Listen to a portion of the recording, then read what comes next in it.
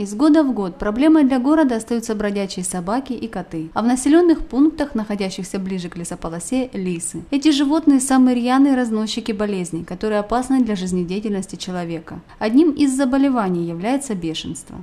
Бешенство – острое инфекционное заболевание заносной природы с природной очаговостью, вирусной этиологией с раневым механизмом передачи инфекции – при котором чаще всего поражается центральная нервная система и которая всегда заканчивается летально. К сожалению, лекарств, которые могут вылечить бешенство, еще в мире не придумано.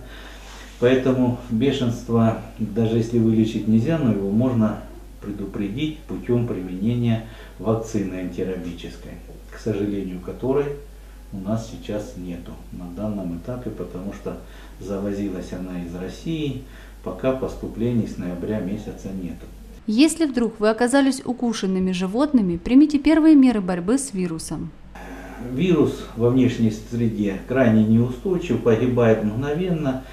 Э, человеку необходимо сразу, сразу раневую поверхность обработать мыльным раствором, обработать йодом и обратиться в травматологический пункт для оказания квалифицированной медицинской помощи. Резервуаром вируса бешенства в природе являются, как правило, плотоядные животные. В отдельных случаях мелкие хищники, грызуны, летучие мыши. Бешенство обусловлено длительным вирусоносительством у зараженных животных. Заведующий травматологическим пунктом призывает быть внимательным, находясь на улице. Хотелось бы предупредить э, и население, и особенно родителей детей. Если там животные, особенно весной, начинают э, формировать стаи, у них проявляется агрессия весенняя, у них начинается он, поэтому лучше э, обходить, если человек видит, что приближается там стая, лучше ее обойти стороной, чем подвергнуться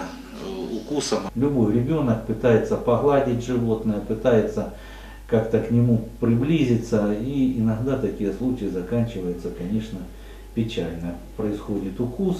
В экстренных случаях э, мы отправляли пострадавших, у которых было там подтверждено, что бешенство животное, отправляли в Российскую Федерацию.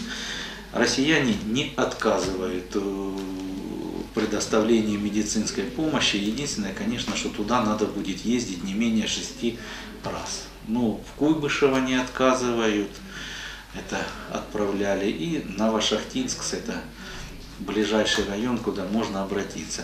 На руки вакцина не продается, не дается, поэтому если человек обращается, есть нужда в лечении, то лечатся они там, ну, приходится 6 раз туда ездить в течение трех месяцев. Не стоит пренебрегать советами врача. Будьте осторожны в общении с животными. Нет ничего дороже собственного здоровья и здоровья близких.